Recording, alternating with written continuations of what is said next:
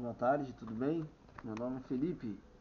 Eu gostaria de convidá-los a subscrever no canal. Hoje nós vamos recomeçar o estudo da, do livro Conquistando Comprometimento: Como construir e manter uma força de trabalho competitiva. Se gostar do vídeo, subscreva no canal. Se gostar, deixe seu like no joinha. Suporte esse canal com as doações. Não esqueça, ative as notificações no sininho. Compartilhe esse vídeo com seus amigos. Siga-me no Twitter, Facebook, Instagram.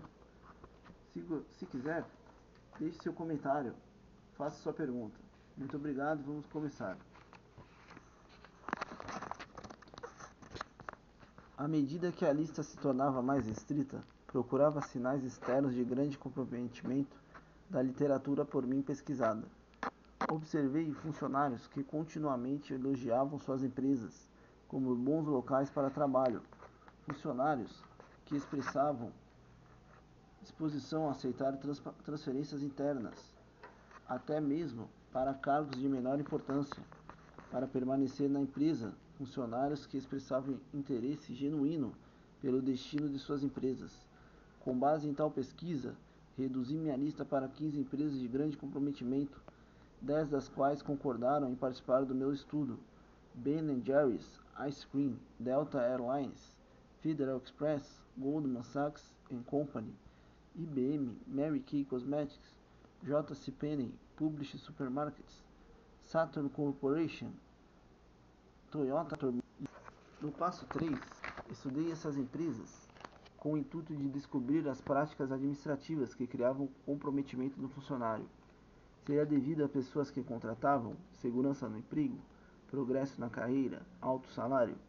Com o intuito de estabelecer a causa do comprometimento, entrevistei funcionários das 10 empresas, geralmente em loco, analisei os documentos das mesmas e, sobretudo, as políticas e procedimentos de sua administração de recursos humanos. Verifiquei por duas vezes minhas primeiras impressões sobre o comprometimento do funcionário.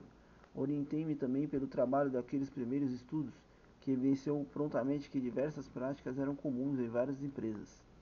Finalmente encontrei oito práticas de grande comprometimento que pareciam e reapareciam na conduta dos negócios de cada uma das dez empresas por mim estudadas. Na verdade, eram conjuntos de práticas, cada conjunto composto de ações administrativas específicas e concretas, as quais classifiquei da seguinte forma: Valores People First. People First, as pessoas em primeiro lugar. Diálogos de mão dupla. Comunhão, mediação, transcendental, contratação baseada em valor, segurança, recompensas extrínsecas, palpáveis e realização. Uma coisa que tornou-se cada vez mais óbvia, à medida que meu estudo prosseguia, foi a criação do comprometimento que requeria um programa administrativo abrangente, composto de um pacote de práticas administrativas concretas e políticas de pessoal. Na falta de tal programa, os resultados de esforços relativamente unidimensionais, como programas de aumento de qualidade ou planos de incentivo, estão fadados ao fracasso.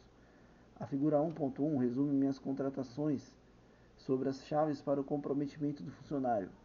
Nem todas as empresas em minha lista utilizam todas as chaves do comprometimento, porém todas utilizam a maioria delas. Todas as empresas valorizam as pessoas em primeiro lugar. Comunhão, mediação transcendental, contratação baseada em valor, segurança, recompensas extrínsecas, palpáveis e realização, etc.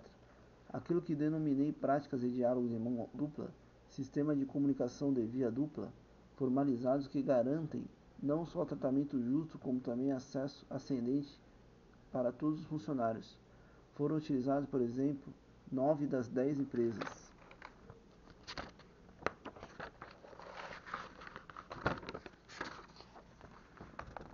Chave: Valores People First. Empresa: Ben Jerry's, Delta Airlines, Federal Express, Goldman Sachs, IBM, Mary Kay's, JC Penney, Publish Supermarkets, Saturn Automobile, Toyota Motor MFG USA. Valores People First. Diálogo de mão dupla. Programas de tratamento justo garantido. Programas de diálogo aberto. Programas de pesquisa periódica programas de cima para baixo, comunhão, homogeneidade, compartilhamento comunitário, trabalho comunitário, contrato regular de grupo, ritual, mediação transcendental, ideologia da companhia, carisma da companhia, conversão ideológica, símbolos, histórias e ritos. Contratação baseada em valor, esclarecimento de valores, rejeição da maioria dos candidatos, seleção exaustiva. Contratação baseada em valor, continuação, combinação de valores, análises relativas realistas de empregos, autoseleção e sacrifícios. Recompensas, segurança, recompensas extrínsecas, pagamento acima da média, participação no risco, graus de pagamento limitado, salários não pagamentos indiretos, benefícios acima da média.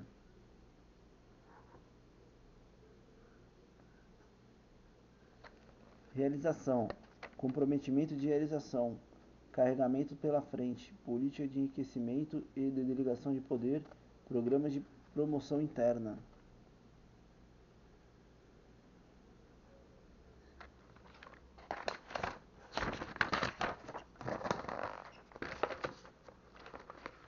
A roda de comprometimento. Já que a criação do comprometimento requer uma, um programa abrangente, surge pergunta: por onde começar? Minha recomendação é resumida na roda do comprometimento, vista na figura 1.2. Lance um programa instituído, o que denominei de valores People First, um assunto abordado no capítulo 3. As ações são produtos de valores. É inútil tentar criar comprometimento se não houver a valorização das pessoas, confiança da administração e respeito pelas pessoas. Valores People First, diálogo de mão dupla, contratação baseada em valor, realização. Valores People First, mediação transcendental, comunhão, segurança, respostas intrínsecas. O segundo aro da roda de comprometimento detém as chaves explicadas do capítulo 4 ao 6 diálogos de mão dupla, comunhão e mediação transcendental. Essas práticas são os alicerces para a prática de comunicação de mão dupla, a percepção do futuro compartilhado e o senso de missão dos quais baseiam-se os programas de comprometimento. Em seguida, vem a contratação baseada em valor, a segurança e as práticas de recompensa explicadas no capítulo 7, 8 e 9. Depois começaremos daqui. Tenha excelente semana, muito obrigado. Compartilhe esse vídeo. Deixe o seu like. Muito obrigado, uma boa noite.